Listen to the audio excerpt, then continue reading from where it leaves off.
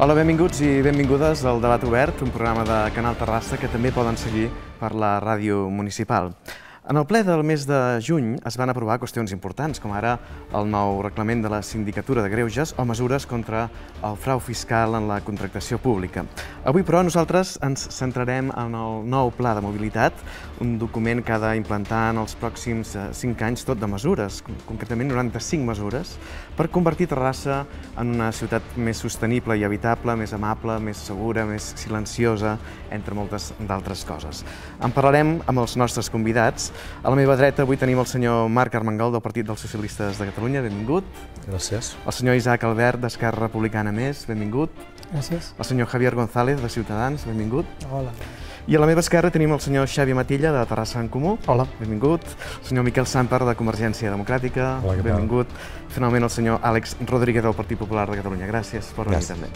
Avui no ha estat possible l'assistència de la regidora de la CUP, Maria Sirvent.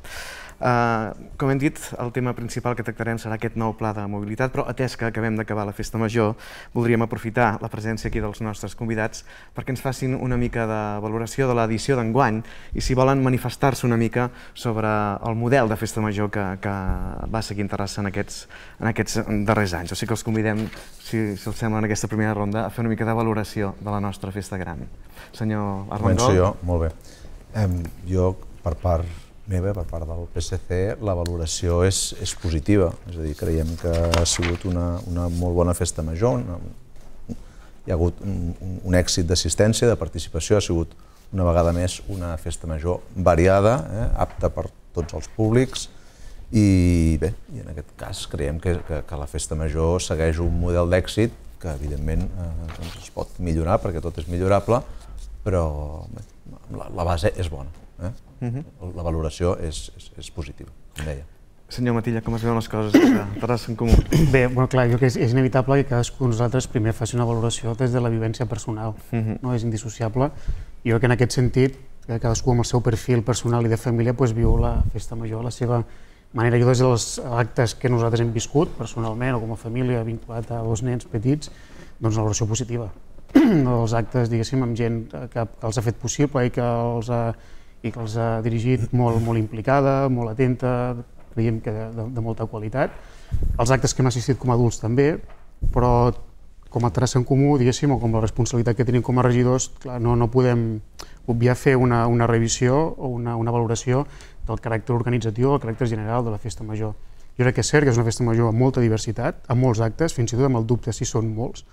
No si són molts, sinó la sensació de que la festa major de Terrassa ha anat acumulant activitat en busca d'aquesta diversitat, però que ha arribat un moment en què és com una gran festa major de molts actes en la qual és difícil identificar un determinat caràcter concret o una determinada estructura lògica. No? Fins i tot, avui ho comentàvem, agafes el programa, el programa de paper no? demà de festa major i de tan extens és difícil entendre-ho. Això ens ha passat a tots, no? agafar un document allò molt gruixut, però intentes endevinar on estan les activitats infantils, on estan les activitats de joves, i costa. I són, perquè hi són, però hi costa. I aquest qui costa creiem que té a veure amb, amb, amb necessitat de revisar amb una certa profunditat i voluntat eh, quin és el sentit de tot plegat. Eh? No només qüestions quantitatives o de detall, de diversitat o diferents actes, sinó creiem que toca, després de molts anys, de revisar un cert sentit o caràcter de, de, de la festa major, més que continuar pensant en fer-la créixer no? amb una certa obsessió d'arribar a tot arreu, creiem que ja no és moment d'arribar a tot arreu, s'arriba a tot arreu, sinó dotar-la d'un cert sentit.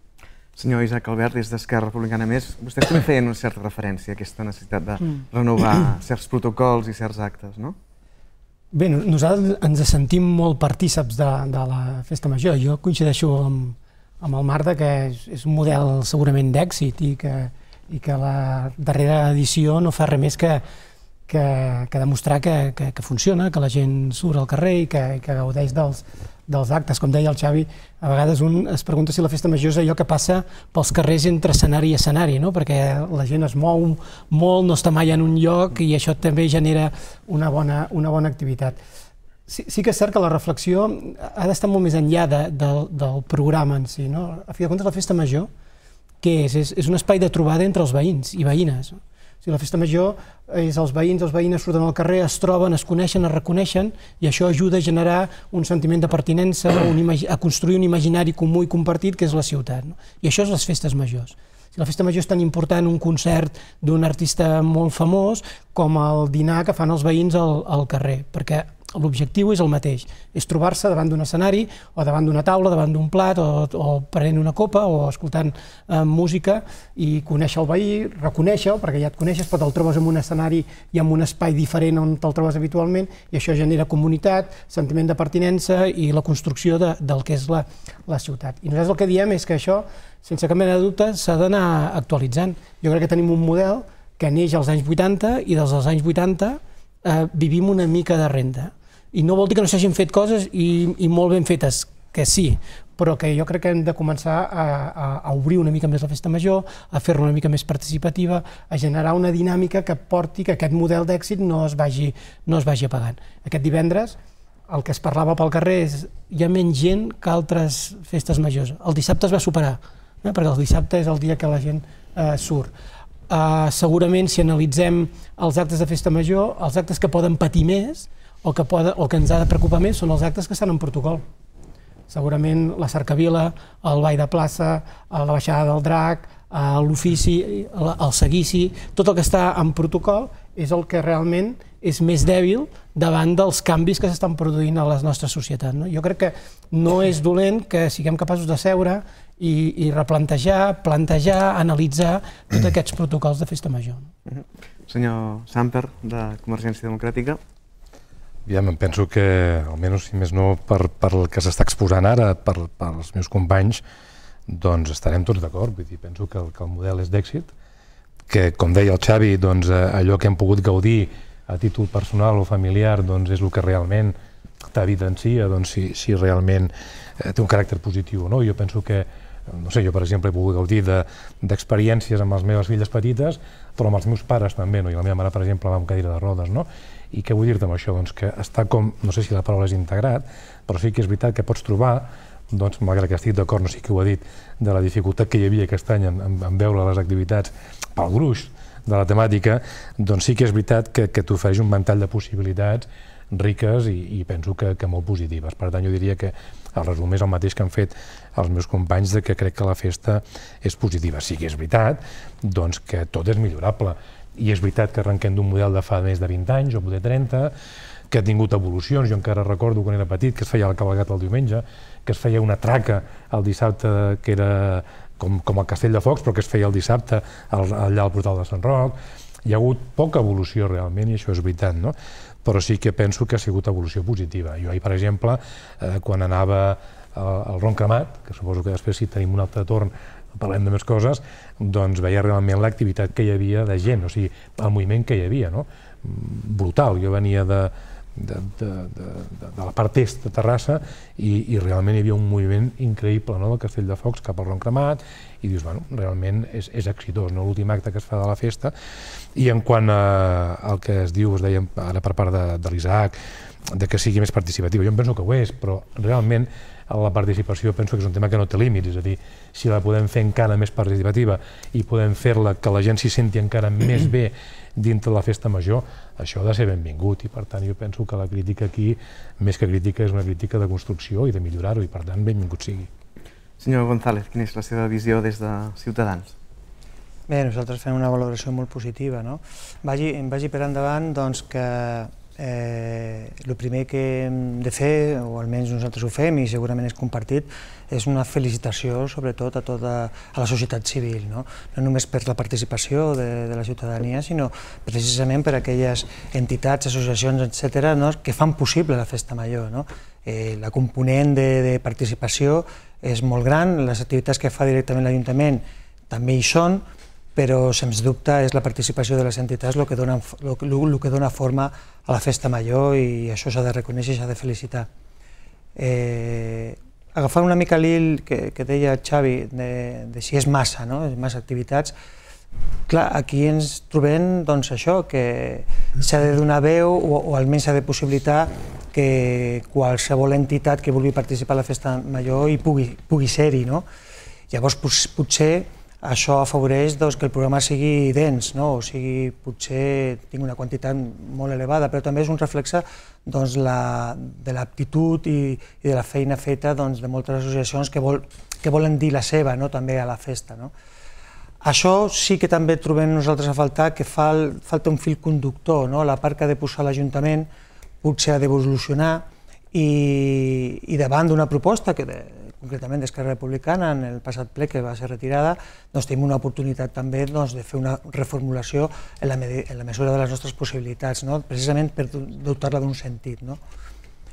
Tot allò que sigui positiu, tot allò que sigui millorable, doncs podran comptar amb nosaltres i en la línia i també doncs, eh, estem d'acord també, inclús diria, a la manifestació que va fer l'alcalde no? en a la introducció del programa de Festa Major, que és una qüestió també doncs, de tradicions, és una qüestió d'identitat de la ciutat i, i sempre i quan tot això apel·li a valors col·lectius. No? Senyor Rodríguez, del Partit Popular, Bé, la Festa Major de Terrassa, com tot, com tot a la, a la vida, és millorable i la valoració que fem des del Partit Popular és positiva, insistim, millorable. La Festa Major vaig tenir l'oportunitat ahir de, amb les meves amistats, fer això mateix que estem fent ara, no? aquest, aquest debat de...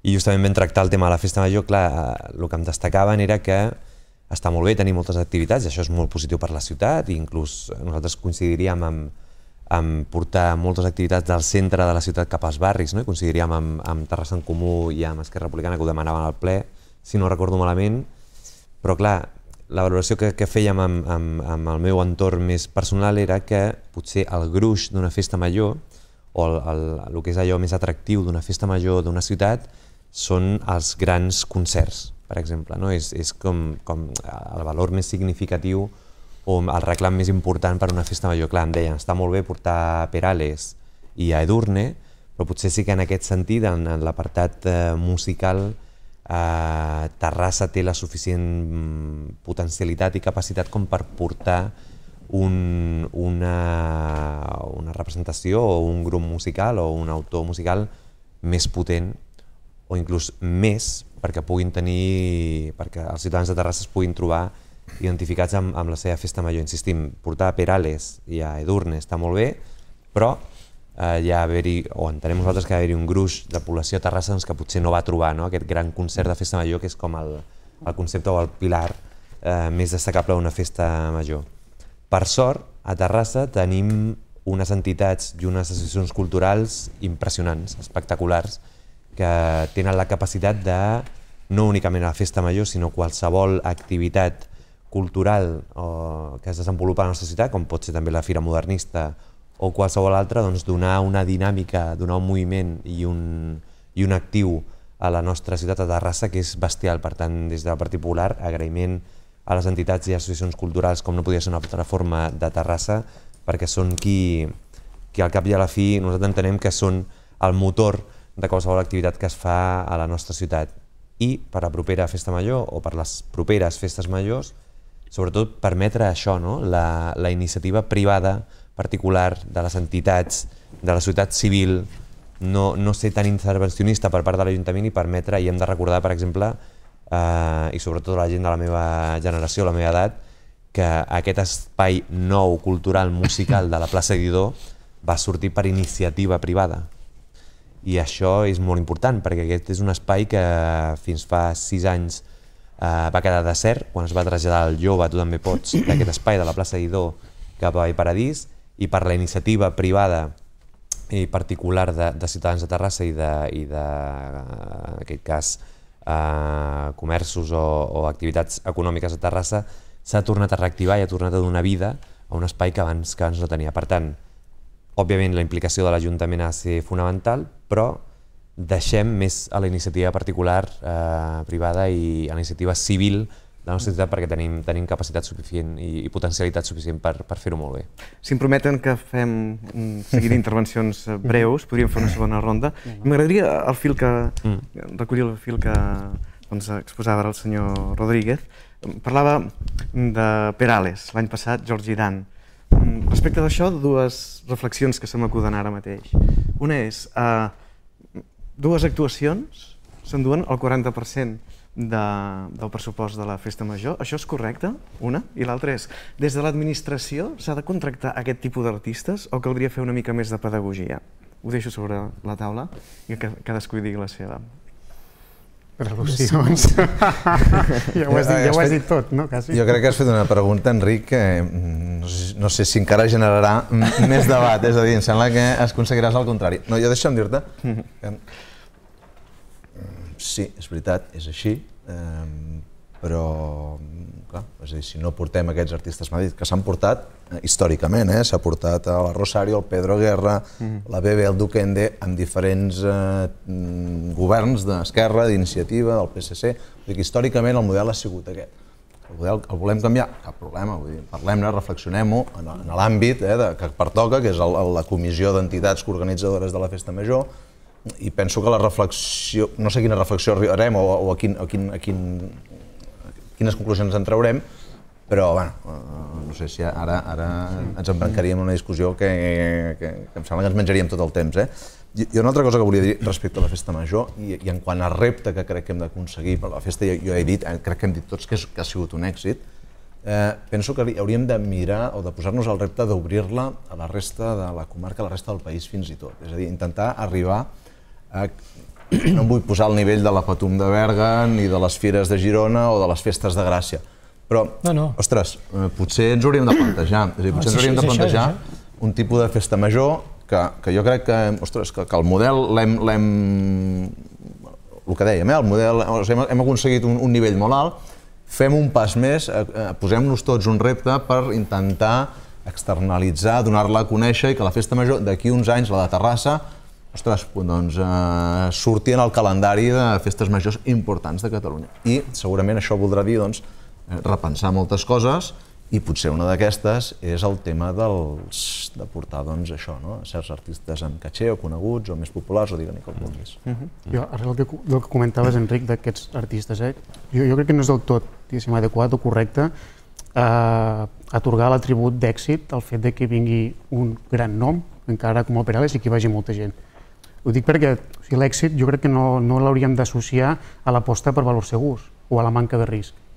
I associat al que comentava abans Isaac, jo crec que la festa major de Terrassa difícilment eh, pot acabar sent una festa major de caràcter tradicional, històric o patrimonial, com la Patum de Berga.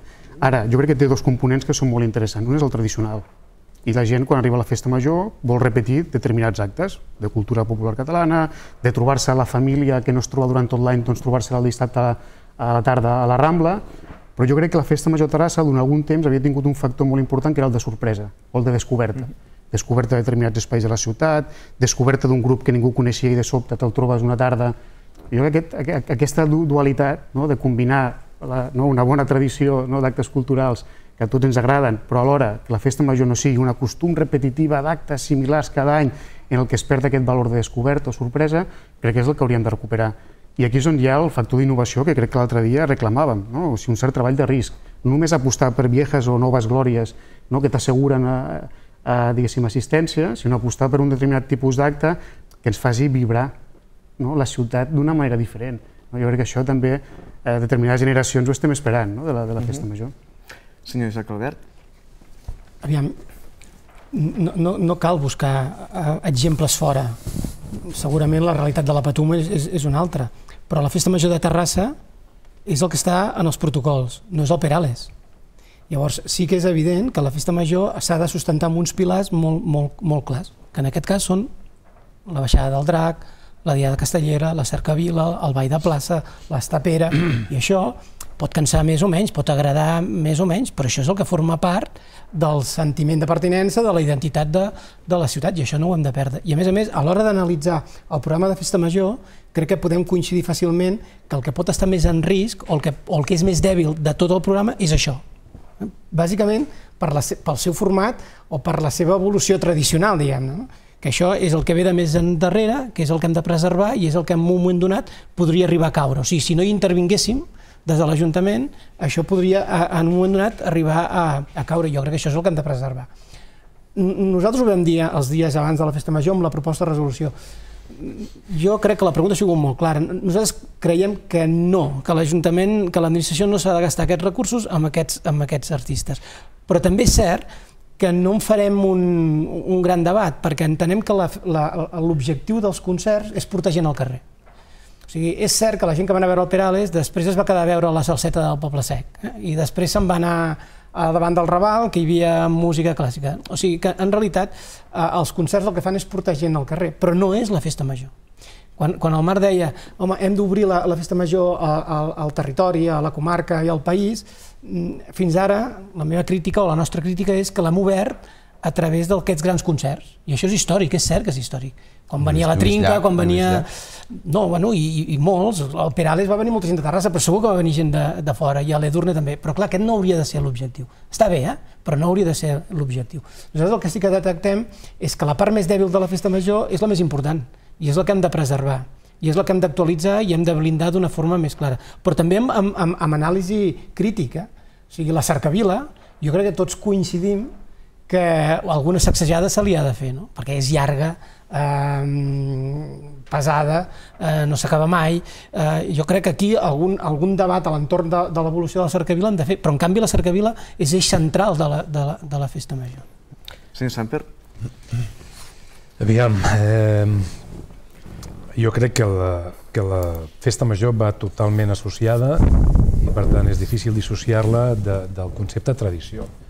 I, i, quan dic tradició no, no m'estic referint en cap cas ni a conservadorisme ni a cap tipus d'ideologia, però vull dir, penso que el que comenta l'Isaac dels protocols és ni més ni menys que arrel, aquí està explicat en aquest llibre, doncs, d'això, d'intentar protocolitzar aquestes actuacions històriques de la ciutat, doncs d'alguna manera blindar-les. No? Probablement aquest és el defecte. He interpretat doncs, que deia l'Isaac que, que caldria una mica revisar, perquè les coses, evidentment, malgrat que es vulguin blindar des de la perspectiva de, de garantir-les, no vol dir que no puguin evolucionar. I si una cosa és llarga, doncs es pot fer més curta i probablement hi hagi doncs, que potser necessitin doncs, de més espai o, o de més recorregut. No? Però jo penso que és important que aquesta part, eh, no sé si la paraula és blindar o garantir, però aquesta part penso que és l'essència, el nucli al rovell de la festa major. I si ho enllacem amb el que deia el Marc, de que fora bo intentar projectar la nostra festa major a l'exterior, difícilment eh, ho projectarem si no és en base a això. És a dir, uns concerts poden fer que vingui gent de fora, és evident, eh, perquè tothom té el seu mercat, és a dir, si et ve l'Edurne té un mercat, si et ve el Pedals en té un altre, però si et ve el Guerra té un altre, i quan venia el Rosserillo en té un altre. I sempre acostumaven a omplir els escenaris, perquè Terrassa té molts habitants i sempre et doben el seu mercat. No? Eh, però jo crec que el nucli és justament la tradicionalitat.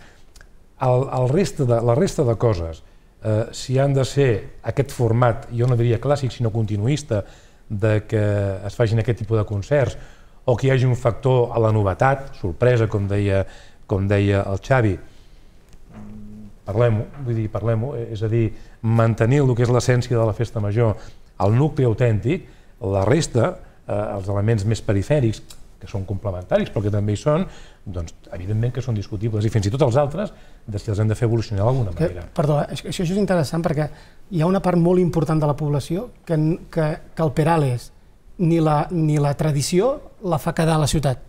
Correcte. I, i jo sí, crec sí, que aquí sí, hem d'obrir una porta eh, sí. perquè hi ha una gran part de la ciutadania que, ni la Diada Castellera, ni a la baixada del Drac, ni el concert del Peras la fa, la fa romandre a la ciutat per festa major. I, Segurament jo, coincideix acabar... amb les dates. Eh? També és veritat. Juliol, tres dies, platja, calor... Sí, sí, sí, sí. I per acabar una altra cosa, eh, respecte de la part aquesta, aquest nucli més, més tradicional, no? el, que està protocolitzat d'alguna manera. Eh, crec que molt poca gent realment el coneix. I crec que això és una cosa que també ens hauríem de plantejar de fer-ne pedagogia. Per exemple, hi ha hagut un exemple aquest any a l'escola BET, on s'han explicat aquests protocols. No?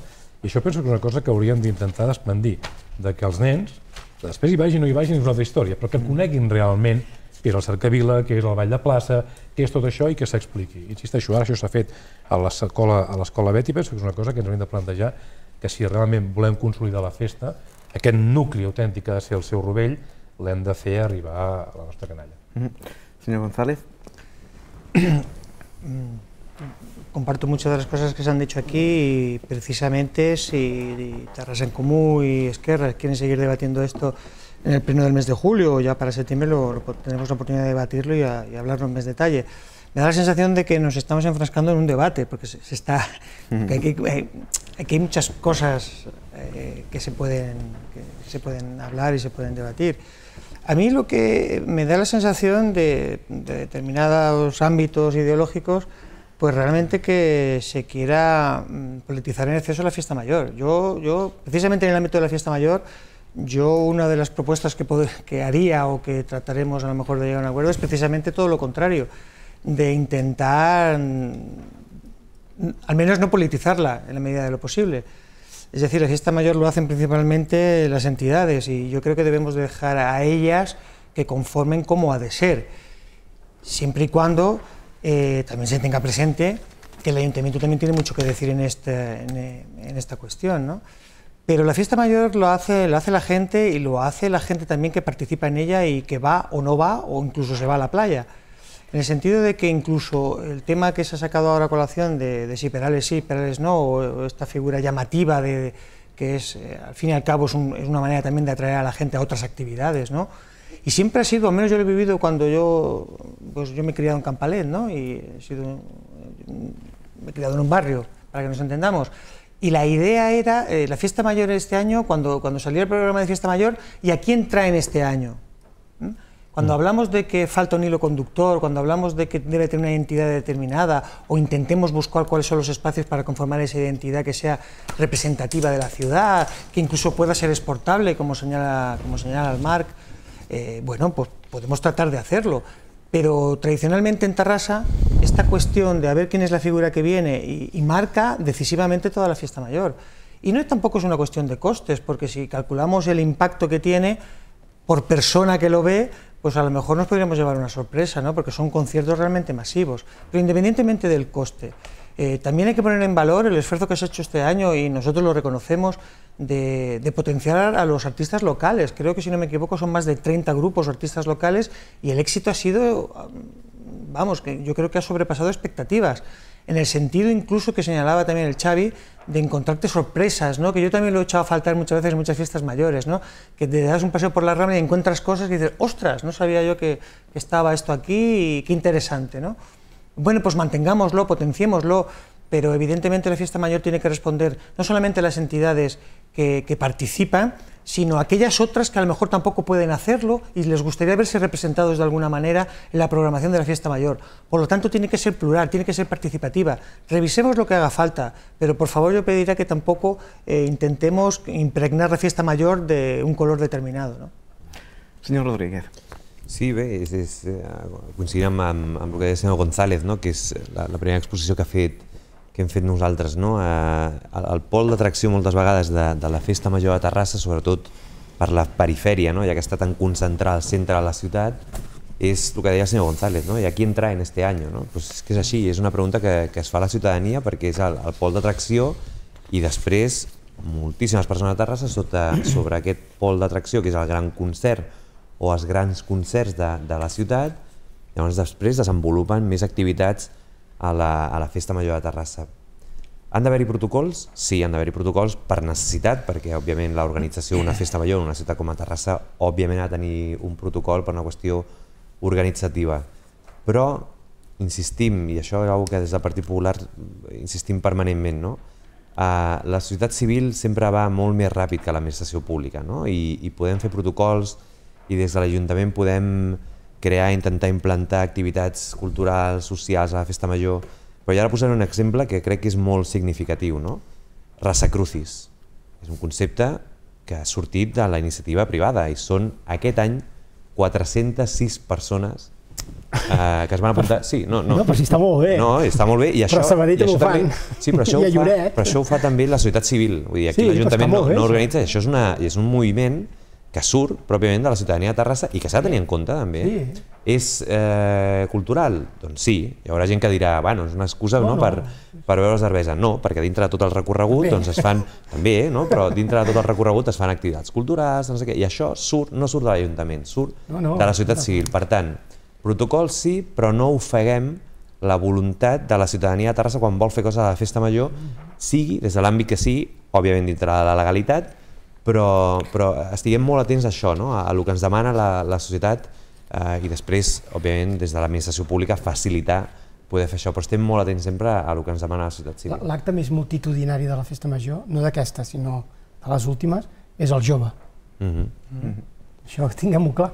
Mm -hmm. ni, ni el Perales ni, Exacte, però, és, el, és el jove. però a vegades dona la sensació... Jo Vull que a vegades eh, també fem discursos, però la realitat també ja, ja, ens, ja ens ho marca. No? Però- I, el cost, I el cost que ha suposat la inversió en el jove, aquest any una mica més perquè el nivell ha pujat de grup, Mhm. sempre ha sigut molt baix. Però jo li parlo ara des de, des de i ho he dit abans, eh, des de la meva generació, no? 30, 30 i pocs, que, que ens vam criar a finals dels 90 amb un determinat model de jove a la plaça Idó, que ens van portar després a Vallparadís, i que va arribar un moment que a Vallparadís ja no ens sentíem còmodes, no? Quan ja ens aprovàvem els 30.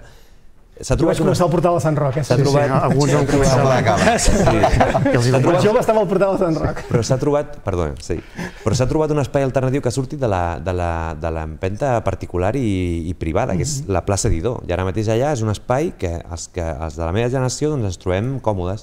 Ha sortit de l'Ajuntament? No, ha sortit, insistim, de la societat civil i de l'empenta dels particulars i, i de la, O sigui, de. Àlex- Això és molt important. Sí, jo que independentment de qui sigui la iniciativa o de que sigui un acte cultural o, o protocolari o un, un acte d'una altra, d'una altra característica, jo crec que el més important és que la gent puguem entendre que la festa major no és un espectacle per observar, sinó per viure. Correcte. Sí, sí. I que es pot viure el divendres després del pregó ballant al Raval, Mm. que, que, que pots anar a ballar, que ho pots gaudir anant a una cerca tasques o, no, o amb una el Rassacrucis, o que ho pots eh, viure el diumenge a Vall de Plaça xiulant els regidors.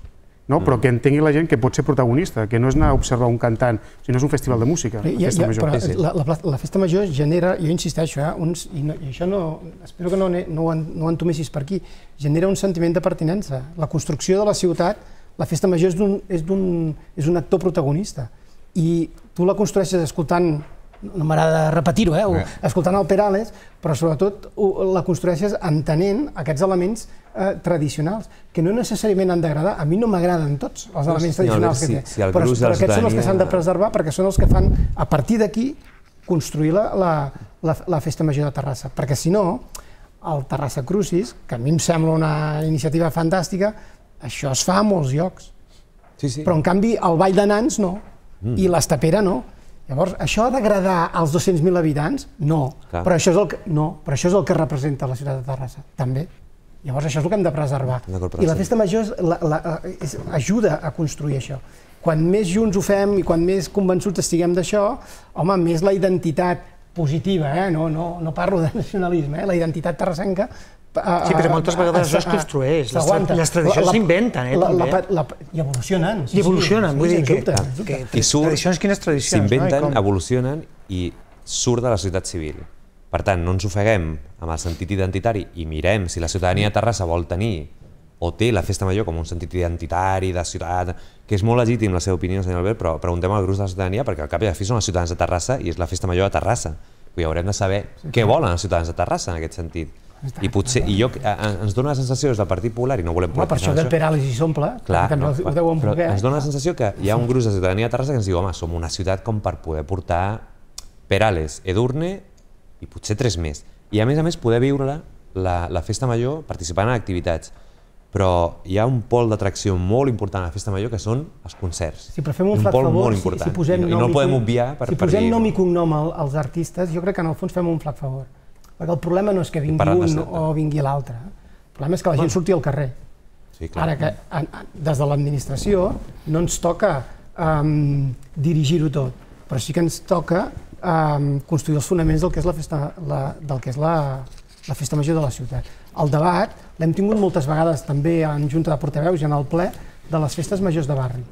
o sigui, hi ha festes majors de barri que neixen a l'entorn d'un- d'una realitat, o sigui, que existeixen perquè hi, hi ve una tradició, i altres que s'han construït a base de que la la ciutadania s'ha mobilitzat i vol fer una mica de festa. Totes són vàlides? Sí. Per què? Perquè són espais de trobada, que fa que et coneguis amb el veí, que et trobis en espais diferents, que puguis conviure, que puguis eh, cohesionar eh, el barri, i per això, només per això ja és positiu. Ara anem-la a dotar de contingut. Jo només, nosaltres el que reclamem és anem-la dotar de contingut, i la Festa Major de Terrassa en té, i molt, i anem-lo a garantir, anem-lo a preservar. Bé, hem dedicat mitja hora llarga a parlar de la festa major, que és un tema prou interessant, que segurament donaria per, per molt més, però també tenim altres qüestions eh, sobre la taula, no tan lúdiques, però realment molt interessants, com per exemple el fet que el ple de juny va aprovar el nou pla de mobilitat urbana, amb el vot a favor de tots els partits, menys de Ciutadans i del Partit Popular, que hi van votar en contra. Aquest pla, que s'ha d'implementar durant els propers 5 anys, preveu 95 mesures en la línia de reduir un 12% l'ús del vehicle privat, promoure l'ús del transport públic i de la bicicleta, millorar la qualitat de l'aire, reduir el soroll i el consum energètic i cedir més espais als vianants i, en general, fer de Terrassa una ciutat més amable. Tenim precisament aquí el regidor de Mobilitat, el senyor Armengol. La pregunta que li faria és què els ha portat a redactar ara aquest nou pla de mobilitat? Aviam, eh, la llei, o sigui, siguem clars, mm. els plans de mobilitat s'han d'anar actualitzant, eh, tenen una vigència de 5 anys mm. i eh, tocava, o sigui, tocava, en tenia, el, teníem, el teníem caducat, per dir-ho d'alguna manera, o el teníem desfassat respecte a eh, les lleis vigents. Aquesta és la primera premissa. Mm -hmm. Ara bé, això no vol dir que darrere no hi hagi una ferma creença, eh, des del govern en aquest cas, doncs, en impulsar la mobilitat eh, i tal com tu, mm, bueno, com, tal com comentaves en la teva introducció, doncs en tots aquests paràmetres. No? Mm.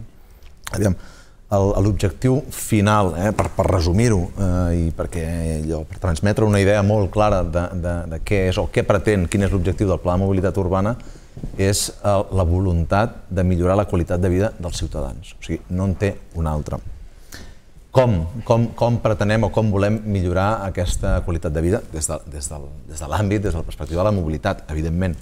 Doncs, eh, per una banda, ho has comentat, eh, reduint eh, les, o millorant la, la, millorant el, la, la qualitat ambiental, eh, reduint la, la contaminació, l'emissió de partícules contaminants i reduint el soroll, eh, que també forma part de la contaminació. Moltes vegades el soroll eh, ens oblidem, eh, és el sí, germà pobre sí, de, la, de la contaminació, però és mm. molt important, eh, deriva amb, amb moltes patologies, amb moltes malalties, sobretot d'aquells veïns que viuen en, en, en, vies, en les vies més transitades, i, eh, per altra banda, també ho has comentat, doncs, en la, el reequilibri de l'espai públic, eh, de, de, dels vials. Actualment, aproximadament, estem, eh, estem donant un 65% del, de l'espai públic, eh, de, de, la, de la via pública, al vehicle, ja sigui per circular o ja sigui per aparcar, que també moltes vegades ens oblidem del tema aparcament, mm -hmm. és a dir, no només és la circulació, o sigui, els aparcaments ocupen com a mínim o gairebé el, el, el doble o el mateix espai que ocupa la, els, els carrils de circulació. I eh, en aquest sentit eh, bueno, creiem que això s'ha de reequilibrar perquè a més a més sabem, eh, tenim dades objectives de que eh, el, el, el, els viatges, eh, el, el mode de transport dels, dels ciutadans de Terrassa en un, no és un 65% en vehicle, sinó que és a peu o en bicicleta, eh? bàsicament a peu. Per tant, com a mínim, hauríem d'intentar reequilibrar, ja no, sé, ja no dic reinvertir-ho, és a dir, que el 65% passi al, al peató, però potser sí un 50%. I per això es vol reduir en aquest 12% el que és la, la, la circulació de vehicle privat en favor d'altres opcions com és el transport públic eh, o com és, són eh, modes de transport actiu, ja sigui doncs, doncs anar a peu o en bicicleta. Aquest seria una mica l'esquema general. I en definitiva, o sigui, mm, el que es pretén és eh, promocionar un ús racional del vehicle privat. Eh, creiem que, a més a més, mm, bueno, ho hem dit al ple també, ens hi va eh, la salut. Mm. Al final la contaminació eh, doncs ja és una de les primeres eh, causes de mortalitat de les societats -hmm. desenvolupades. Un dels ítems que crida més l'atenció d'aquest nou pla de mobilitat és aquesta voluntat, aquest desig de reduir en un 12% l'ús del vehicle privat en 5 anys. Tenim per això una certa tendència a criminalitzar el vehicle privat? Perquè moltes vegades la gent no l'agafa per gust, sinó perquè l'alternativa de transport públic no és prou atractiva. Com ho veu això, senyor Matilla? Sí, jo, jo en primer lloc a mi em sap greu eh, que, que sense voler polemitzar en, en excés, que el regidor de mobilitat comenci dient que hem revisat o que hem aprovat un pla de mobilitat perquè tocava per llei. Sincerament, ho dic perquè l'altre dia en el ple jo vam fer un comentari, la sensació que estem discutint un, un document i un tema, que és el de la mobilitat, molt més important i de molta més profunditat del que sembla. No estem parlant només de trànsit, no estem parlant només d'espai públic, estem parlant d'un model de com hem entès les ciutats fins ara. I per tant, ens aboquem a un punt d'inflexió cap dalt en el desenvolupament de les ciutats. O sigui, hem de ser conscients que o sigui, l'ésser humà s'ha convertit en, un, en, un, en una espècie mòbil, ens agrada moure'ns i cada cop ens hem mogut més. I jo crec que això tampoc ho podem obligar, a vegades per obligació, a vegades per desig, independentment. I que, i que aquest accés de mobilitat o augment de mobilitat ha anat associat a un model de desenvolupament de les ciutats, també vinculat sobretot al cotxe i a l'extensió en el territori. És veritat, hem de reconèixer que Terrassa, per sort, és una ciutat en la seva forma compacta, eh? aproximadament 5 per 5 quilòmetres, tot i que al seu interior hi ha determinats desequilibris, eh? no tots els barris són iguals, els nodes d'atracció que generen desplaçaments estan concentrats en determinades àrees, segurament al centre més que més camp, més camp d'altres. Llavors, aquest model d'expansió i de cada cop més desplaçaments ha començat a donar senyals de perill i d'alerta, el Marc citava algunes. Hi ha un tema de salut, clau i fonamental, o sigui, l'excés, de, no el vehicle, eh? perquè no criminalitzem el vehicle, el vehicle no té cap culpa, diguem. L'excés de l'ús del vehicle genera greus problemes de salut i afecta temes de formació no? i desenvolupament del cervell dels nens, etc etc. Eh, afecta a temes energètics, o sigui, és una tecnologia que ens fa dependents d'altres territoris i per tant no ens fa, no ens fa, no ens fa autònoms. Eh, suposa costos econòmics per a les famílies, tothom que tingui un cotxe sap el que li costa al cap d'un any, suposa costos socials, això està demostrat que prioritzar l'ús del vehicle afavoreix a determinats perfils, segurament homes d'una determinada edat, ocupats, i en canvi nens, dones i gent gran estan abocats a l'ús d'un altre tipus de vehicle. I finalment, també ho comentava el, el Marc, l'ocupació de sol a la ciutat. Segurament, no recordo el percentatge exacte, però més del 50% de l'espai públic... 65. El 65% de l'espai públic de la ciutat està destinat exclusivament a l'ús del vehicle. Clar, ho poses tot plegat i jo crec que arribem a la conclusió que el model de funcionament actual fonamentat en el vehicle privat és suïcida, és absolutament suïcida. Mm. I per tant ens hem de plantejar seriosament cap on hem d'anar. Clar, el pla de mobilitat urbana que acabem, que acabem d'aprovar, eh, del qual compartim no, els objectius que presenta i que el Marc ara, ara explicava, nosaltres entenem que, que hi ha dues línies dins de la seva complexitat, eh? per tant fent una mm. simplificació amb les que cal actuar. Una, que creiem que és el que fa fonamentalment el pla, que és intervenir sobre l'espai públic. I per tant dissenyar estructures de mobilitat, del vehicle, de la bicicleta, del vianant, del transport públic, dels aparcaments, que tendeixi a recuperar espai que ara està no, el 65% per als vehicles per altres modes i per tant prioritzar modes més. Però hi ha un altre, que és el que alguna vegada hem criticat i que l'equip de govern hem presentat un document de compromisos que hem acordat i que no podem obviar, que és avançar en un model de ciutat més equilibrat. Que, per tant, que eviti que hi hagi desplaçaments en vehicle, com apuntaves al principi, mm. de manera obligada. I hi ha decisions vinculades a, a regulació d'usos, a desenvolupament no, d'on col·loquem l'habitatge, on col·loquem l'activitat, on col·loquem el comerç, que són capdals a l'hora de gestionar la mobilitat i que creiem que des del punt de vista de la mobilitat com a argument motriu d'aquesta lògica de desenvolupament no podríem obviar. Per tant, creiem que el document eh, compleix amb aquests mínims legals no, que el Marc apuntava, però creiem que calia també anar més enllà. No? En tot cas, de Terrassa en Comú, la proposta que hem fet és d'aquests compromisos que intenten combatre no? o anar una miqueta més enllà amb aquesta lògica de model, els hem acordat, creiem que els objectius són positius i també creiem que el que serà fonamental és el desenvolupament, gestió i seguiment dels objectius del pla, del pla de mobilitat. Uh mhm. -huh. Esquerra Republicana, Moviment d'Esquerres, hi va donar el seu suport, però aquest eh, senyor Isaac Albert hagués estat el pla de mobilitat que haguessin redactat vostès? Sí. Jo crec que sí. Sí? T'assembla molt a la... Sí, jo, jo crec que Sí, aquest és un pla de mobilitat, el Marc no... O sigui, hi ha un pla de mobilitat, de mobilitat aprovat el dos, del 2002 al 2012, que nosaltres hi vam ser actors mm, coprotagonistes, mm -hmm. i aquest és un document que és continuista de, bueno, que segueix una línia un fil conductor d'aquell darrer pla i nosaltres ens hi sentim amb el que és el document absolutament Còmode, partíceps, sí. còmodes, mm. entenem que, que, que va en la línia que, que ha d'anar. Segurament el dubte, i no per entrar en polèmica, però perquè no sembli tan fàcil tot. Nosaltres amb el document el compartim plenament, tenim algun dubte de si, si el govern serà capaç de, de, de fer el que diu el document, eh? però això no ho discutirem ara perquè això dels pressupostos. dependrà en els propers temps. No? Però sobretot pensant en els, en els espectadors que ens veuen, quan, quan parlem de mobilitat, no, no només parlem de cotxe i de cotxe particular. Estem parlant de la gent que va a peu, de la gent que va en bicicleta, de, de la gent que va en transport públic, en transport col·lectiu, individual... Estem parlant de tot això. Estem parlant també que excepte algunes excepcions, segurament importants, eh, però menors, no tothom va sempre en cotxe. O sigui, a vegades anem en cotxe, a vegades anem a peu, a vegades anem en transport públic. I si parles amb, amb els ciutadans, eh, o fins i tot a vegades jo amb el, amb el mateix entorn més proper, eh, amics o familiar, quan van en cotxe reclamen unes coses i quan van en, en transport públic en reclamen unes altres i quan van en bicicleta en reclamen unes altres. O sigui, quan parlem de mobilitat estem parlant de, de tota aquesta complexitat.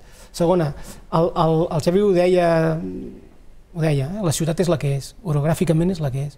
No només per la seva realitat, sinó que a més a més és una ciutat que té dues rieres eh? i que té un torrent i que té una, un, un, una via del tren, una part soterrada però una altra no, amb carrers que pugen i baixen, que la fa complexa a més a més, la gran majoria d'aquests carrers, els més cèntrics, quan dic cèntrics no, no parlo del barri centre només, eh, sinó del que seria eh, eh el, el, el Rovell de l'Ou, eh, els carrers són exactament iguals que eren, evidentment, fa 30, 15, 20 o 100 anys. La qual cosa hem d'entendre que, i en canvi la ciutat ha, ha duplicat el seu dent. Mm. Hem d'entendre que no ens podem moure de la mateixa manera que, que, ens, vivi, que ens movíem. En canvi, culturalment, tots els que estem aquí i els, i els ciutadans viuen la ciutat d'una forma molt semblant. Eh? Segurament ha, han evolucionat i ha canviat, però seguim vivint la ciutat d'una forma molt semblant. Quan sortim de casa fem els mateixos trajectes i si ho fèiem en cotxe encara tenim el costum moltes vegades de fer-lo en cotxe quan segurament la ciutat per la seva mm, transformació urbanística s'ha costat tot a més. No? És molt compacte i el que abans semblava una distància eh, enorme ara Mm, ja no ho és tant, però en canvi la seguim vivint de la mateixa manera. I el quart punt, que jo crec que és, que és important i que és una excepció, jo crec que eh, si ho comparem amb ciutats de, del nostre entorn, és que Terrassa encara té una mobilitat eh, interna molt més elevada que, que externa. O sigui, ens movem més per dintre que per sortir de la, de la ciutat. I encara ens movem més de forma, no, això és més normal, eh? ens movem més de forma no obligada que de forma obligada. Amb tot això que, que, que he dit, jo ho dic pels, pels, pels espectadors, eh? jo entenc que aquí tots ho sabem això, però eh, amb tot això que he dit crec que tenim coses a fer. Hi ha marge. O sigui, el, el que demostra totes aquestes dades és que hi han coses a, a, a transformar i a millorar a la, a la ciutat pel bé de tots. Uh -huh. I, jo crec que aquest document s'acosta molt a això, on marca les línies d'actuació per poder incidir en aquests moments. Senyor Samper, Convergència també va votar a favor sí. d'aquest nou pla de mobilitat. Quina eh? valoració en fan? M'agradaria començar amb una dada per, per fugir de cap tipus de dramatisme actual amb el que seria la mobilitat terrassenca, en el sentit de dir que, malgrat que hi ha hagut en els darrers anys doncs, un increment de més de 60.000, 65.000 desplaçaments diaris, tot i així hi ha hagut un, un, una rebaixa o una reducció de 20.000 usuaris de cotxe. Vale? I això per mi és molt positiu. També és veritat que hi ha, que hi ha una, una circumstància que, que ho ha fet més fàcil, que ha sigut la crisi, la crisi. econòmica, mhm. -huh. i que per tant, si arriba l'esperada recuperació econòmica i per tant més possibilitats de consum i de desplaçament, això requerirà de, de més implicació pública. No? I, I estic parlant d'una cosa molt clara, que és la sensibilització, mm. Especialment dels joves, de tot això que em penso que estem tots, eh, diria que d'acord, en què ha de ser doncs, eh, la, la capacitat per, doncs, per anar per la ciutat de la forma més sostenible possible, sigui caminant, sigui en transport públic, sigui en qualsevol altre tipus de, de mitjà doncs, que no sigui sobretot contaminant. No? Però jo diria que, que també respiro, a part de, de, de, de les votacions que hi van haver donant suport a aquest pla, com deia l'Isaac, continuista de l'anterior, m'agradaria destacar cinc aspectes o, o sis que considero que, que també parlant de cara a l'espectador és bo que, que la gent ho sàpiga. Una primera, aquest pla és, és evident que repensa els carrers i els pretens transformar doncs, eh, de llocs de pas a llocs d'estar. Jo recordo, jo poder sóc el més gran d'aquí, eh, que abans als carrers la gent, ara a l'estiu, sortia allò que en deien prendre la fresca, no? I ara és molt difícil que vegis algú en un carrer amb una butaqueta, amb el veí del costat xerrant, prenent la fresca a les 8 o les 9 del vespre. No? I segurament això té a veure amb la mobilitat. No? Això en parla el pla de mobilitat i per tant penso que és una qüestió positiva. Una segona, se n'ha parlat per part del tinent d'alcalde de, de mobilitat, el reequilibri de l'espai públic. Malgrat un augment també en els darrers anys de més de 360.000 desplaçaments diaris, eh, dels quals un 60% es fan doncs, bé eh, caminant, bé en bicicleta, malgrat aquest 60% o 60 i alguna cent, només un 34% de la via està preparada per a aquest tipus de desplaçaments i per tant això s'ha de reequilibrar i penso que aquí hi ha una, un acord entre tots de que ha de ser així. Una tercera cosa, es pretén crear proximitat amb els espais que no estan tan pròxims. Eh, com? Doncs amb voreres més amples, més còmodes, enllaço amb el que deia ara l'Isaac, de que els carrers són igual que fa 30 anys o 20 anys o 40 anys, doncs fer-los diferents. No? I això és voreres, és més arbrat, és més bancs, perquè la gent que millor fer un trajecte d'un quilòmetre, si pot descansar tres vegades o quatre en comptes d'una o cap, doncs se li faci bastant més curt. Evidentment, eh, un quart que seria doncs, potenciar i fer més competitiu el transport públic versus el cotxe eh, privat eh, a través de les remodelacions que facin falta de la xarxa i de fer-ho, evidentment, doncs, molt més efectiu. I un últim, fent dotant-lo de nous carrils, bus i taxi que millorin la velocitat en el sentit no d'anar més ràpid, sinó d'arribar als llocs doncs, amb més regularitat per part del transport públic. Sobretot, una última que he dit abans al principi. Tot això té sentit si són capaços de sensibilitzar la població de que realment hem d'anar cap aquí. I m'agradaria posar un exemple que és molt recurrent, però que és el tema del tabac. Vull dir, fa 20 anys ningú era capaç de pensar que realment en un restaurant doncs, no es podria arribar a fumar i que la gent tindria la percepció que allò era negatiu i al final això s'ha aconseguit. Sí que és veritat que amb lleis restrictives, no? però jo penso que el tema de la sensibilització és importantíssim per arribar doncs, a, a tenir una mobilitat molt més sostenible, molt més neta, molt més eficaç. Senyor González, eh, Ciutadans eh, va demanar que es retiri aquest pla de mobilitat i que es prioritzin altres coses, com un nou pla d'ordenació urbanística. Consideren que les coses s'han fet al revés, diguem, que l'ordre no ha estat el correcte. Fins i tot van, van arribar a fer servir la paraula xapussa, em sembla, en algun moment, no? Sí. Expliqui'ns una mica, quina és la seva visió? En castellà i en català, xapussa i nyap, van, dir, nyap, les, no? van, van dir les dues coses. Eh, a mi, sí, però m'agradaria fer una petita introducció perquè m'ha agradat molt la pregunta que li ha fet al senyor Armengol, no? perquè ha incidit en la idea de ara, no? per què ara? No? el senyor Armengol doncs, ha dit perquè toca, no sé si un representant polític... Però acte seguit he dit per, perquè hi ha una voluntat política de millorar la qualitat. Eh, has dit perquè toca, millor... perquè tocava, tu has trobat a la sobre de la taula i bueno, com que, que no tinc una altra cosa a fer... És que aquesta doncs és evident, aquesta és òbvia. Llavors, eh, això és una mostra, una mostra de, no només que l'alcalde sembla que no sap on va, no? com en el tema de l'aigua, sinó que sembla que algunes eh, àrees doncs, tampoc ho tenen massa clar quines són les seves competències i com les han de desenvolupar. Penso que aquest és un bon exemple no? per posar-lo sobre de la taula. Eh, quan un diu que ho fa perquè toca o quan s'acaba el ple i diu que hem aconseguit un titular de que som la ciutat més neta de, de Catalunya o d'Espanya, doncs mm, això és una mostra evident de que no cal contingut, només calen, calen titulars y ya está. ¿no? Nosotros hemos pedido que, lo, que, que se retirara precisamente, eh, no se trata tanto de qué va antes o qué va después, sino porque encima de la mesa hay una, hay una iniciativa de, del alcalde, apoyada creo que por el resto de fuerzas políticas durante la pasada campaña electoral, pues de, de, abrir el POUN, de revisar el plan de ordenamiento urbano, porque es evidente de que si no sabemos dónde van los equipamientos, si no sabemos dónde se tiene que abrir el comercio, si no sabemos cómo hay que delimitar los espacios para la industria, difícilmente podremos hacer el mejor plan de movilidad para esta ciudad. Y no es porque estemos en contra del fondo de la cuestión y de todas las medidas que se plantean en el plan de movilidad que las podemos compartir perfectamente, ¿no? pero entendemos que sin, sin ese trabajo en paralelo eh, el plan eh, pues cojea, ¿eh? desde nuestro punto de vista. ¿Y en qué se queda el plan cuando cuando no va de la mano de una reflexión sobre cuál tiene que ser el horizonte de ciudad en cuanto a, a proyección de la ciudad y en cuanto a lo que he repetido, y vuelvo a insistir, equipamientos, etcétera. Pues se queda en lo que nosotros definimos en el pleno, de la, en el pleno municipal. Eh, en dos palabras, dos aspectos. El plan no es un plan, son dos. Es por un lado un plan de mantenimiento y por otro lado un plan de estudios. Entonces, mm, desde ese punto de vista, eh, es evidente de que queda mucho por hacer todavía, pedimos la retirada en el Pleno. E insistimos en la idea de que incluso teniendo en cuenta las necesidades de esta ciudad, que es evidente, alguien lo ha planteado a lo largo del debate, no sé si ha sido Isaac, en el sentido de que es una ciudad difícil a la hora de trabajar con ella porque hay barreras naturales y barreras artificiales que dificultan mucho la movilidad.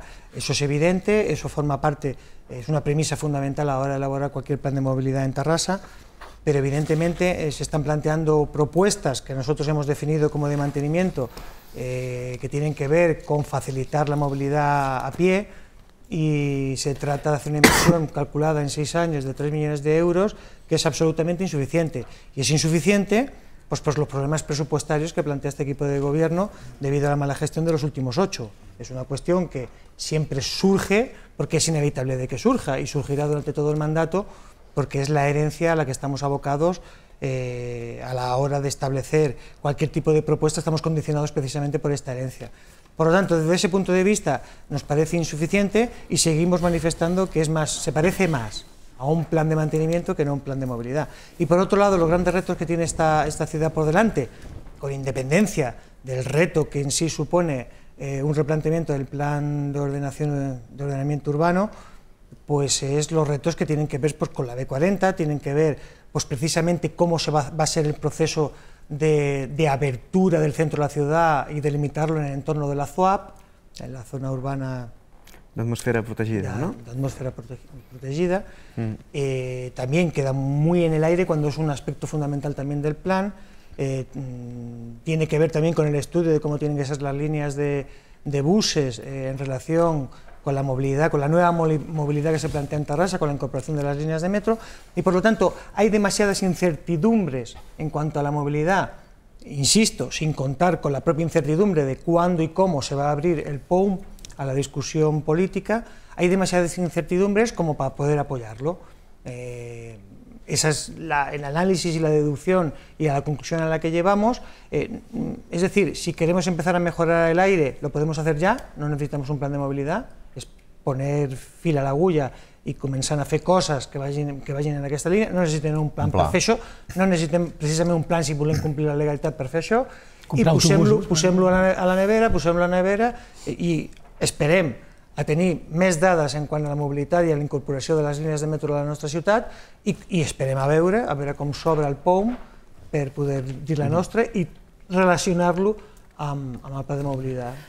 Senyor Rodríguez, el Partit Popular, al igual que Ciutadans, també va votar en contra d'aquest uh, document, d'aquest text, d'aquest pla. Uh mhm. -huh. Per quins motius vostès no hi estan d'acord? Nosaltres som i serem molt crítics, lamentablement, perquè aquest pla de mobilitat eh, és un autèntic desastre. O sigui, no és un nyap, és un, és un desastre. A més, és molt preocupant perquè deia el senyor Albert que és el pla de mobilitat que continuista de l'anterior pla de mobilitat.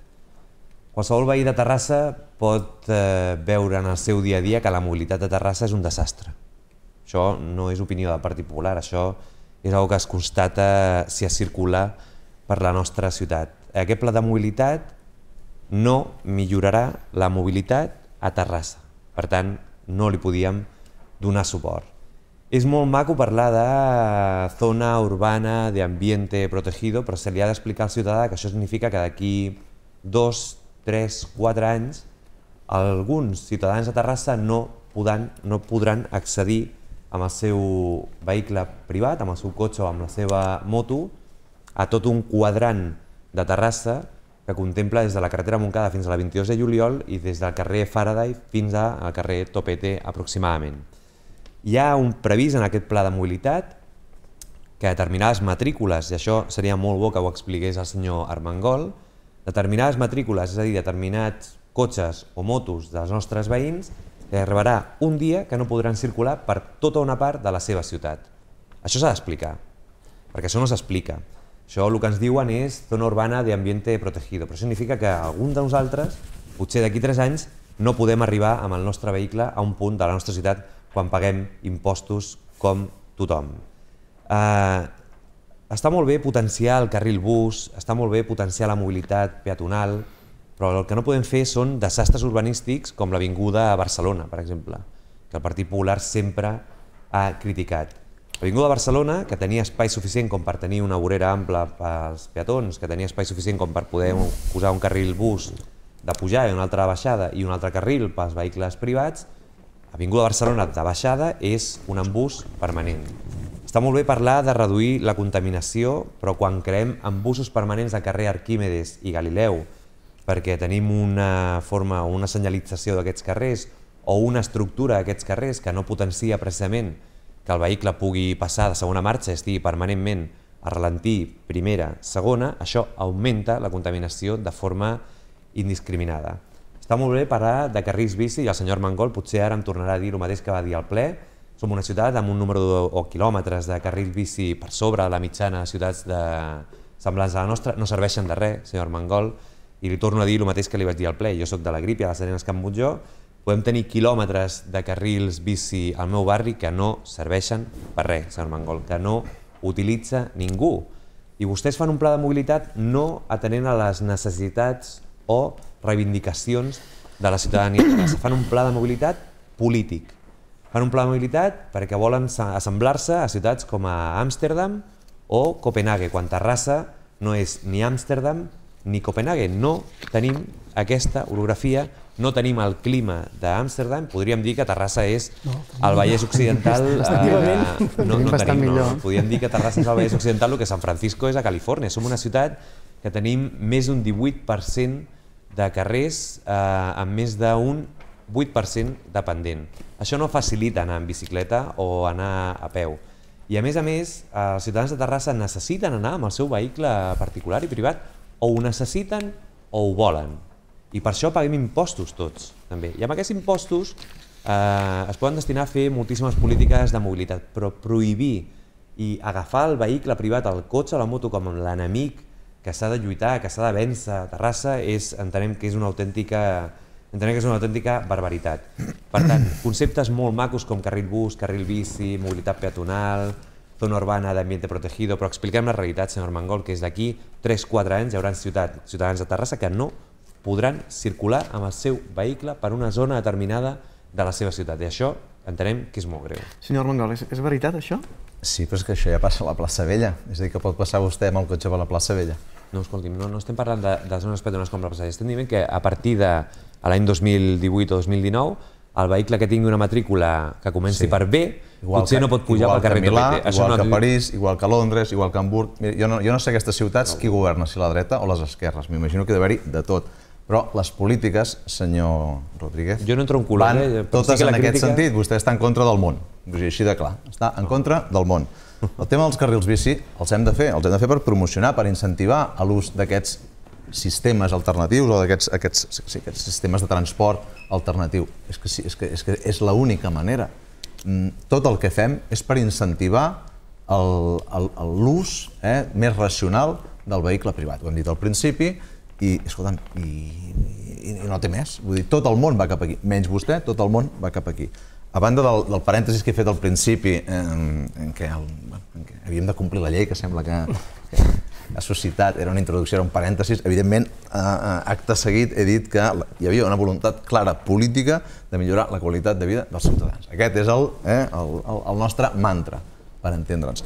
I a partir d'aquí, bueno, s'han dit moltes coses. Um, també és veritat que en el ple, i no li va agradar al senyor González, eh, vaig dir que Terrassa és l'única ciutat de l'entorn de l'àrea metropolitana de Barcelona que ara mateix té actualitzats, eh, segons els paràmetres de la normativa actual, el Pla de Qualitat Ambiental i el Pla de Mobilitat Urbana. I això ens ha de, sentir, ens ha de fer sentir orgullosíssims. Abans parlàvem de la festa major eh, i ara parlem d'un altre tema, però que ens ha de fer sentir igual d'orgullosos. Això li he d'explicar aquí... a la persona que està atascada al carrer Arquímedes i Galileu. Sí, li he d'explicar però... que hem d'estar molt orgullosos Vaig posar, de tenir... posar un exemple de gent que circula pel, pel, pel, carrer, pel carrer Galileu eh, i que no, no hauria. Però bueno, és igual, és un altre cas. Eh, el, el, que està clar, el que està clar és que eh, és un tema que denota sensibilitat, és a dir, és un, és un tema que en el ple es va veure molt, molt bé quins, són, quins partits estan cap a la dreta i quins estan a l'esquerra. Vull dir que realment és un, és un tema que té molta, molta càrrega política.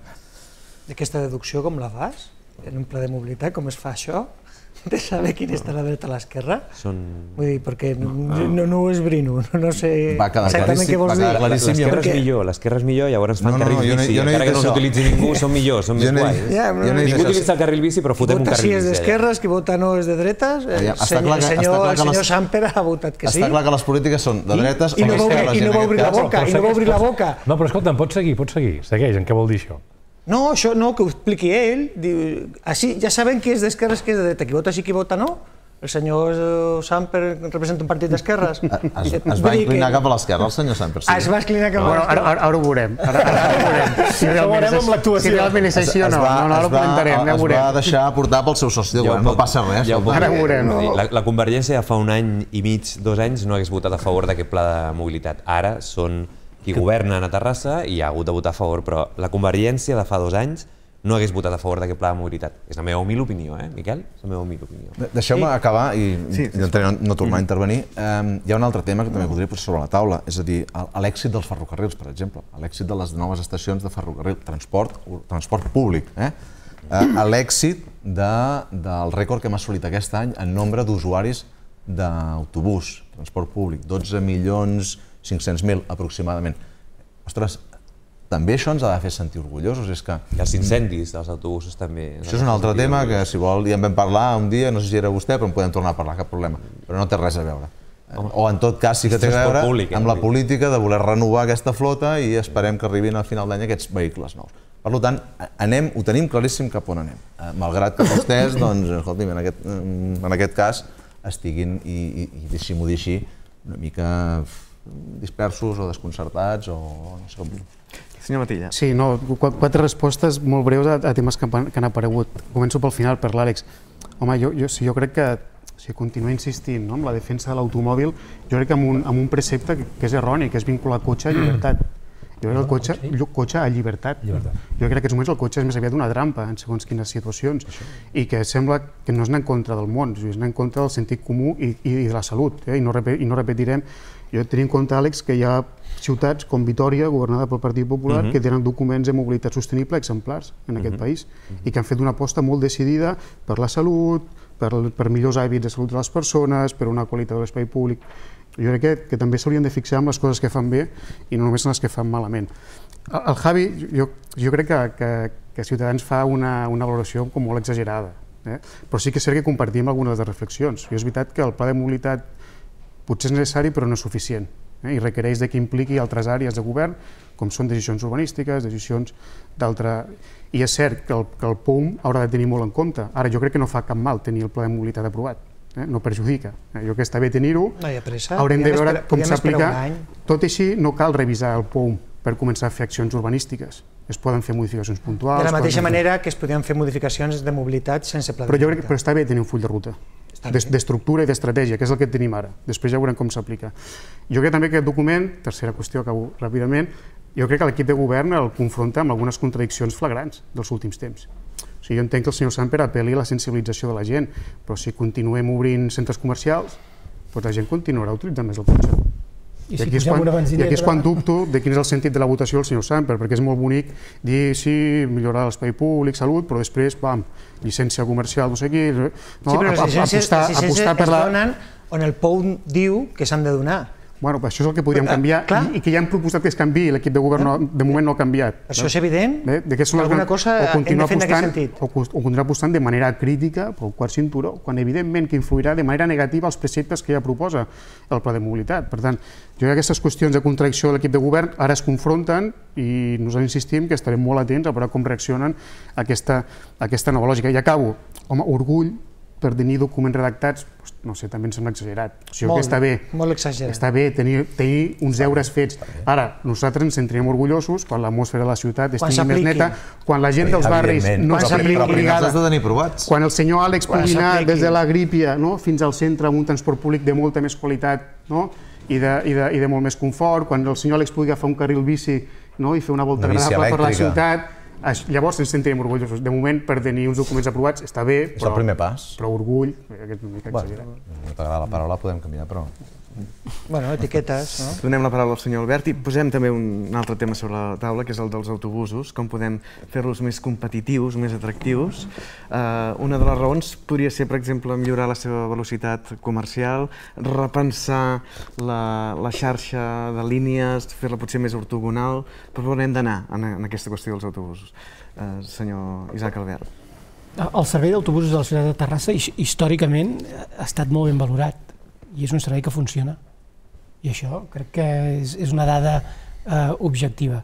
Sí que és cert que portem uns anys que mm, segurament no s'estan prenent les decisions que s'han de prendre i algunes les estem allargant en, en accés. Primera, l'entrada en funcionament del metro, ara és la necessitat de comprar una flota, d'actualitzar la flota, però hi ha una decisió que s'ha de prendre, que és el dibuix de les, de, les, de les línies, veure quin impacte ha tingut el metro a la, a la ciutat eh, i a partir d'aquí prendre decisions que, fa, que facin que el transport públic a la ciutat, en concret el, el tema dels autobusos, mm, millori. Jo crec que això és, és, és un tema pendent, no? és evident.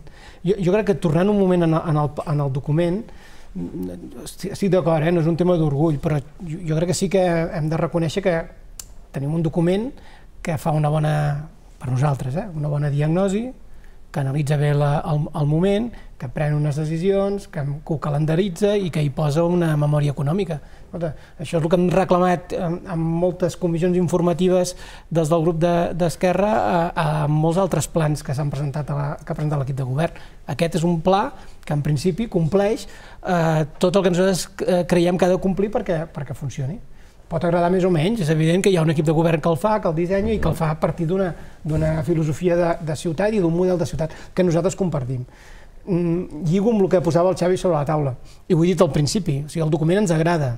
Mm, nosaltres, a partir d'aquest document, farem oposició, oposició constructiva. O sigui, a partir de l'aprovació d'aquest document que nosaltres hem ajudat a que, a que s'aprovi, eh, home, el seguirem de prop. I sí que és cert que eh, en els darrers temps es prenen decisions que no diré que vagin en contra del, del, del pla, però que no hi van en la mateixa línia. No? Els equipaments comercials, posar una benzinera al mig de la ciutat de, de Terrassa, la compra dels, dels autobusos, que no ho tornem a treure, eh? perquè ja sé que això és un tema recurrent, però que és, és, és evident. O sigui, si, si treballem en la línia de rebaixar les emissions de CO2, doncs, escolta, no comprem autobusos eh, dièsels. Jo crec que això és, és, és evident perquè contradim el que diu el, el, el pla de mobilitat. El Javi ha posat sobre la taula, intento anar ràpid i abrevio, eh? ha posat sobre la taula el tema del POM i és cert que en campanya electoral va ser un tema recurrent i que va sortir i que tots... Crec que el Xavi va posar un punt de, de sentit eh, comú, eh? que, i, I és cert, no? Tots vam dir que el POM s'havia de, de, de revisar. De revisar bàsicament perquè és un pont fet en un moment donat eh, on els creixements eren molt evidents, jo crec que ara tindríem l'oportunitat de poder reconduir algunes coses, però tampoc, tampoc és garantia de res obrir el pont, no? la qual cosa jo crec que abans de, fins i tot em, em, ratifico, em rectifico a mi mateix, eh? jo som els primers eh, disposats i, i que pensem que s'ha de fer, però abans de fer-ho mm, analitzem-ho bé i, i treballem-ho treballem Hem d'iniciar el debat de forma pausada, és a dir, no tenim una pressa, per tant, això és un avantatge en, el cas, en, el, en aquest o sigui, revisar el POM, per, per, per, ens en, per entendre'ns, eh? jo crec que ens obriria, ens podria obrir la porta um, a, a, a, a, a reconstruir una mica o, o, a, o, a, o a o a tallar possibles creixements que crec que la ciutat en aquest moment ja, Ara, perdó, ja jo, crec, jo crec que no és una qüestió de velocitat, de ràpid o en pausa, sinó de saber per què el volem obrir i com el volem tancar. El, el risc d'obrir el POM és que no, no garanteixes que el tanquis millor que l'has obert, i aquest no. això ho hem, de, ho, hem de, ho hem de tenir clar. No? Que hi hagi un pla de mobilitat no, no, no és contrari.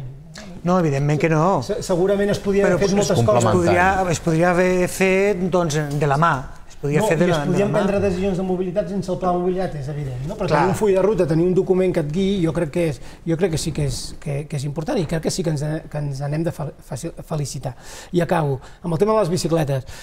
Jo crec que hi ha també una reflexió interessant amb el tema dels carrils eh, bici. Uh, si, si, si analitzem la demografia de, de la ciutat, la bicicleta a llarg termini no és una solució a la mobilitat perquè sí que l'envelliment dificulta l'ús de la bicicleta i la realitat és que la ciutat envelleix i, i, i envellirà més. En canvi, l'entrada com un actor protagonista del, del transport eh, elèctric o del cotxe elèctric sí, sí que ho és, no? I aquest és un tema que també hem d'entomar. De, hem no? Ho hem de debatre, perquè si és veritat que el vehicle elèctric, eh, d'aquells 5 punts d'alerta que dèiem mm. abans, hi ha alguns que els, que els redueix, eh, la contaminació, però hi ha d'altres vinculats mm. als hàbits vinculat a l'ocupació d'espai públic que continua sent igual. Per tant... És el torn del senyor Semper. Sí, gràcies. Aviam, hem tingut eh, tot, tot el, el moment del debat d'avui amb molta pau, però al final he rebut no sé, tres o quatre tasques no? que se'n diu ara i permeteu-me que intenti una miqueta contestar-los amb tot el respecte possible pels meus companys. Eh? Eh, jo, jo, jo porto un any només en política i intento, jo ara parlo també pels espectadors, fugir al màxim i probablement no encerti, eh?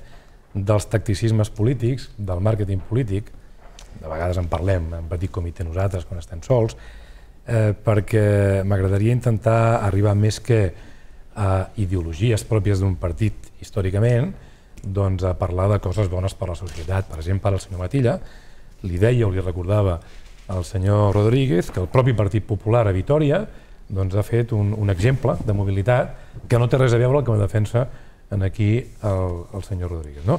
I això és dir que el Partit Popular, en un lloc determinat, ha sigut capaç probablement de fer bo allò que està dient el senyor Mangol, el senyor eh, Isaac Albert, allò que defenso jo, allò que defensa el senyor Matilla, i ho ha fet el Partit Popular. Passa alguna cosa? És, és, ens hem de estirar les vestidures o rasgar les vestidures? No, el Partit Popular ha fet un plantejament probablement molt més sostenible, molt més respectable amb el medi ambient, de lo millor el que està defensant avui, respectablement, el senyor Rodríguez. I en aquesta línia, doncs, eh, penso que hem de ser capaços d'assumir que els partits tenen una flexibilitat, que tenen una evolució en el temps i que, per tant, tan respectable és el que pugui pensar un partit històricament doncs, eh, visualitzat en un determinat doncs, sector ideològic com un altre que pugui haver evolucionat. Per tant, eh, jo el que he dit avui i el que amb la no intervenció l'altre dia, òbvia, perquè estaven donant suport al nostre soci de govern, però el que dic avui ho dic aquí ho diré 50.000 vegades. És el que realment pensem. Clar, treure avui, per exemple, la, la qüestió dels grans establiments, els que s'ha fet menció, per exemple, a la benzinera i a l'Esclat en concret, eh, el, que, el que hi ha a la Rambla, i el model que això eh, implica a nivell d'establiments de, comercials, és un altre debat, que em penso que avui difícilment el podem tocar. No? Però jo deixo anar un apunt per quan el tinguem un altre dia, que segur que el tindrem. Eh, si no falla la memòria, 95 llocs de treball. Eh? Ho dic perquè penso que també els polítics hem de ser capaços de trobar punts d'equilibri entre moltes coses. El medi ambient, el POUM, la sostenibilitat i l'ocupació i la feina i que la gent no està passant malament. 90 llocs de treball.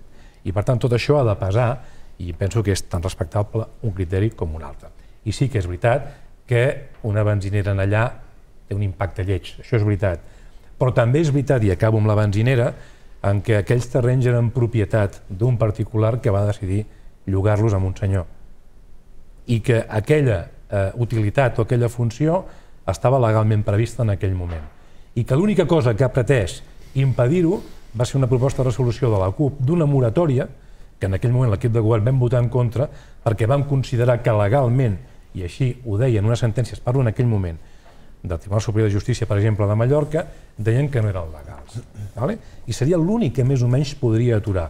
Tot l'altre és el que hem parlat alguna vegada, amb més d'un company, de posar pals a les rodes, d'allargar, de, de, de, de complicar, però que la benzinera, en comptes d'estar posada ara, hagués estat posada probablement el mes de febrer de l'any que ve però hagués acabat estant posada perquè no deixen de ser relacions particulars. I això ho hem de tenir. És cert, Miquel, eh? però l'Ajuntament té pocs instruments per regular aquestes coses, però en té Cap. algun com és la mobilitat l'impacte de mobilitat o l'impacte ambiental. En, el té, eh? Sí, però tu saps... Aquí tu pots fer, un, pots fer un informe dient, escolta, aquí no hi cap una... Però, però tu saps que això, el que, hagués, el que hagués passat és que haguéssim retardat una construcció posterior.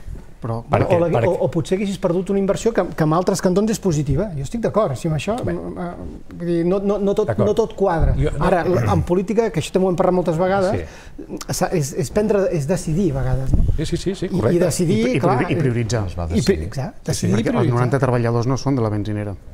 No, no, estem parlant de la benzinera i de la gran superfície. Això. Tu has parlat de la gran superfície, Clar. ell ha parlat de la benzinera. Sí, sí. Ah, esclar, no, no, són de, són de la gran superfície, evidentment. La benzinera igual té, no ho sé, 4 o 5 o 6, no ho sé. Eh? Vull dir que segurament que pocs. Una altra cosa, eh, i torno, segueixo amb el tema del tacticisme i del màrqueting polític. El senyor Javi González diu l'altre dia en el, en el ple que, que, que diu que és un nyap, però ho diu perquè considera que hauria d'estar inserit amb el POM. És veritat, jo estic d'acord. Jo estic d'acord que ben fet, fet, fet de forma perfecta, jo penso que seria el seu, segurament això el Xavi ens ho podria explicar molt més bé, poder inserir tot, tot canvi d'aquestes característiques dintre d'un projecte macro de ciutat i dir anem tots per aquí, segurament seria el més encertat. Però clar, eh, un PUM, si no les meves dades no, no em fallen, la seva modificació pot durar 3-4 anys, Com a mínim. com a mínim, 5-6 anys. No? Clar, eh, jo imagino també una lectura molt fàcil, que és que el senyor Armengol no fa aquest pla de mobilitat, imaginem que no tingués aquesta pressió legal i la política, que ho ha explicat al cap de 10 segons, la lectura seria la mateixa, la inactivitat, la manca de projecte. I, per tant, també hem de saber trobar l'equilibri de que realment eh, és veritat el que diu Ciutadans, de que segur que inserit amb el POU estaria més bé, jo hi estic totalment d'acord, i vostè quan ho deia l'altre dia, jo internament pensava, té raó, però no dir-ho o no, o no fer-ho ara és una inactivitat. Però- I aquesta inactivitat, i aquesta inactivitat no se la pot permetre l'equip de govern, perquè l'equip de govern ha de fer activitat, ha de fer coses criticables. Ho has dit ara, Isaac, és prendre decisions, és arriscar-te. Però el, el, POM, el POM existeix, ja hi ha. El pla de No, no, mobilitat ja està inserit en un la, POM. la modificació. Estic dient que jo entenc que el que proposa Ciutadans és correcte, però clar, que la lectura contrària de no fer-ho dintre d'un nou POM és no fer res.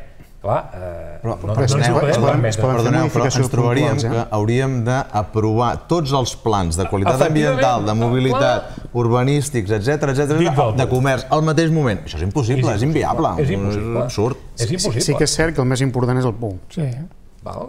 Però el tenim, eh? El tenim i el tenim vigent, i, no es- és tan es vell, pot eh? Modificar, no és tan vell. I es poden suspendre llicències. Però el que pretenia dir, fer Marc, sí. Marc, el que pretenia dir, Marc, és que, és que si ho fem com ho hem fet, es rep la crítica de que no ha estat Evidentment, inserit facis en el el que POM, facis, Miquel. i si ho fas de l'altra manera, coi, per què t'esperes ara 3 o 4 anys i tenim, no sé si la pròrroga, no sé tècnicament com seria, d'un d'un pla de mobilitat, per tant, dic, ostres, Pots suspendre llicències sempre quan Tinguis clar on vas, eh? tinguis clar que has de modificar Perquè tens un any de suspensió, com a molt. Un més un. un.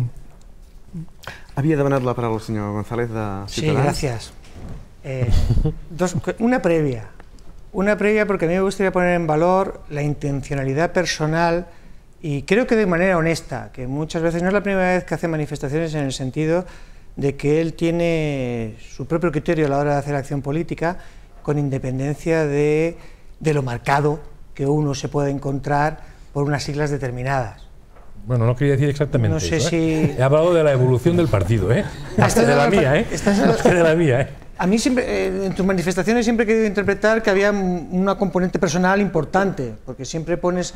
eh, és un psicoanàlisi, eh, siempre pones el, eh, Hombre, cuando me dices eso, siempre, vas- siempre por delante dices aquello de que yo soy nuevo en política, llevo un año aquí y tal, y me doy esto es cuenta de que... esto es marketing. Entonces, No, no, sé, pero, pero entonces no es sé si creerte pero es ya o no que en creerte. campaña de- defensaba determinados postulados que ahora no los defiende. No, però tu en campanya l'altre dia dijiste, perdona, per- perdona, t'ho dic en català, vas dir una mentida i no, i no vaig contestar. Mitja, una, una mitja veritat. Bueno, o una mitja veritat. A, a, Eh, a, a, veure, dir- a veure si és veritat. No, no, ja t'ho dic ara. Vas parlar de l'Avinguda del Vallès. I és veritat que jo de l'Avinguda del Vallès, seguint els criteris del Carles Ulla, que és qui portava mobilitat del nostre partit, del nostre grup municipal, perdona, en el darrer mandat, defensàvem l'especialització de, eh, de les dues bandes de l'Avinguda del Vallès. I, i velocitat 80, No, ho recordo no, no, no, jo això no ho he dit. Un debat Lo- que em sembla que el Martí No, no, no, era el lo, col·legi al- lo, altre, d'arquitectes. lo altre sí. Lo de l'especialització, sí. Lo de la velocitat, no. Jo no. Per tant, jo et dic, eh, no, no, no diguis coses que no he dit. Les que he dit, i et- t'admeto que l'altre sí. I estava estudiat i en el seu moment ja veurem si hagués sigut millor o no. Jo tècnicament no sé si dir-te si és cert o no. El que celebro, el canvi Bueno, en qualsevol cas és la meva paraula. No, no és Sí, que, perdona. perdona, no és canvi d'opinió. És l'opinió que tenia en aquell moment la que tinc ara. Eh? Deixem acabar la reflexió. Bueno, doncs llavors no ho sé, ara no estic, perquè ara m'estàs dient que no, doncs no sé si millor callar-me, no? però vull dir que si en l'eix esquerra, eh, esquerra-dreta sembla que Sí. esteu, us esteu movent, no sé fins a on, perquè ara teniu un congrés que ara no sabem Demà comença. Demà. dilluns quan tornis no sabrem qui seràs o, o en quina posició en aquest eix eh, estaràs, si més a l'esquerra, No, més a la dreta. jo- jo el que sí penso- tenim clar és que l'eix nacional ho teniu molt clar i que gràcies a vosaltres doncs, eh, eh, sou els impulsors de que estem a l'AMI i segurament l'equip de govern, també- l'equip de govern, la part que del PSD estarà molt agraïda per això també. No? Pero bueno, a banda de, a Eh, no es cierto, no es una cuestión de ir a la contra. Entendemos que era una prioridad y se han abierto expectativas. se ha abierto la expectativa del POUN, la, la expectativa del POUN está, está encima de la mesa. Y la prioridad del plan de movilidad también entendemos de que, de que es un proceso que, se, que, se, que ha de culminar. De hecho, ya estaba redactado, ya estaba acabado todos los procesos participativos. Estaba iniciado. todo esto viene del mandato anterior y ya estaba acabado. ¿no? Entonces la cuestión es si lo implementamos ahora o, o, nos damos un margen de tiempo, porque tampoco se estaba hablando de hacer un POUM nuevo, sino de revisar el actual. El proceso es largo, es costoso, pero vale la pena y tiene mucho que ver con el medio ambiente también, porque no solamente se trata del modelo de ciudad, por dónde queremos crecer, dónde queremos que vayan los equipamientos, sino se trata de la accesibilidad y se trata de una cosa muy importante que tiene carencias. Este POUM tiene unas carencias muy importantes y esto lo sabe mejor el, el Xavi, mucho mejor que nosotros eh, tiene muchas carencias en, en, cuanto a accesibilidad y a eficiencia energética. Muchas carencias. No está actualizado. El POUM tiene 20 años, si no me equivoco, aproximadamente. No, no, y, 2003. 15, 15, 2003. 2003. 2003. 15, 14. Pues para tener... Ser el primer Solo aprovat a Catalunya. Eh? Amb la nova llei. Amb la llei 2002. Eh, sí, sí. Pero bueno, para ser un POUM relativamente reciente, tiene unas, unas, unas, mancanzas muy claras en temas de accesibilidad cuando era muy evidente y en temas, por ejemplo, de exigencia en cuanto a eficiencia energética. Por lo tanto, también era algo que podía haber sumado al plan de movilidad. Por lo tanto, no es cierto, ¿no? y me quiero desmarcar completamente en el sentido planteado de que parece ser que es un juego de ir a la contra. No, pensamos que es importante, pensamos que es prioritario y más aún cuando se han generado esas expectativas, cuando era una demanda abierta por parte de las, de las fuerzas políticas de la oposición y de las nuevas fuerzas y cuando el propio alcalde lo asumió como propio, ¿no? Y nos encontró, como ha asumido como propio otras, otras cuestiones eh, que veía en la cabeza, como puede ser el tema del agua, y que tampoco acaba de cumplir o cumple a regañadientes, ¿no? Y tenemos los procesos participativos embarrancados y tenemos todo el proceso del agua pues muy liado, ¿no? Para, para que nos podamos entender. Por lo tanto, y ya finalizo, ¿no? Seguimos pensando que esto se podía haber dejado en el congelador eh, un par de años más mientras nos aclaramos en el sentido político de por dónde tiene que ir el POU, es nuestra opinión, la hemos defendido en el Pleno con vehemencia, quizás, y, y por contestar también a la pregunta que planteabas sobre el tema... Breument, sisplau, que y ya, pero ya muy rápido porque, apro- porque aprovechamos que ayer justamente tuvimos la reunión, eh, una reunión en Temesa y yo haré, mía, haré mías las palabras del propio gerente, en el sentido de que eh, el modelo, de, el modelo de, de transporte urbano en la ciudad en cuanto a autobuses ha sido un modelo que ha funcionado históricamente y que ahora mismo funciona muy bien. Necesita un ajuste en- por la incorporación de las líneas de metro, que es un ajuste que se irá haciendo a lo largo del tiempo. Es un plan de estudios que es- forma parte del plan de estudios de movilidad. Y, y que cuidado a la hora y que cuidado a la hora de, de- de tocarlo o de querer modificarlo porque es un modelo de éxito. Molt bé. Uh, la darrera intervenció Sí, d'avui serà del senyor Rodríguez. I molt breument perquè, perquè crec que el Partit Popular aquí s'ha quedat sol amb, amb la seva defensa del, del vehicle particular, però ens sentim còmodes eh? amb aquesta defensa, no, no tenim cap, cap inconvenient. Crec que el, el debat s'ha distorsionat ara mateix, no? Vull dir, no, estava parlant aquí que si esquerres o si dretes, que si el Partit Popular a Vitoria, que a més a més va ser guardonada com ciutat eh, verda d'Europa, si no recordo malament, l'any 2012. Um, Vitoria és Vitoria i Terrassa és Terrassa i Amsterdam és Amsterdam M'ha recordat el Rajoy, ara. i, i, i, lo, I el no, vecino de la i, vecina, no? i, un, i Copenhague és Copenhague i insistim, l'europea. insistim que la, que la... Jo soc, jo soc molt respectuós, per aquí no... O sigui, aquí, aquí l'esquerra, ara sí, l'esquerra, no? que estem en temps de descompte, No, deixa... No, perquè vostès s'en- s'enrotllen moltíssim quan, quan Deixin xerren. acabar el senyor Rodríguez, que anem Aquí sí que és veritat que hi ha una qüestió política, es tracta d'analitzar la ciutat, les necessitats de la ciutat i en funció d'això fer actuacions. La mobilitat a Terrassa no funciona, és una realitat, no funciona. Per qui necessita moure's amb el seu vehicle particular, no funciona i vostès poden opinar el que vulguin, no funciona. Aquest pla de mobilitat nou, que és continuista de l'anterior, no farà que la mobilitat a Terrassa funcioni ja està. A partir d'aquí, si vostès consideren que ha de tenir una ciutat amb molts quilòmetres de carril bici, endavant, no diré que sigui propi de l'esquerra o de la dreta, dic que no és necessari, que vostès no estan veient la necessitat de la societat a Terrassa, de la ciutadania, però que vostès s'entesten en fer molts quilòmetres de carril bici a la ciutat de Terrassa quan potser no necessitem això. I ja està. I la mobilitat no és ni d'esquerres ni de dretes, però aquí al Partit Popular continuarem defensant des del posicionament que vulguin vostès, que hi ha persones a Terrassa que necessiten i que volen agafar el seu cotxe i la seva moto. I a dia d'avui a Terrassa és un embús permanent i això s'ha de solventar. Punto.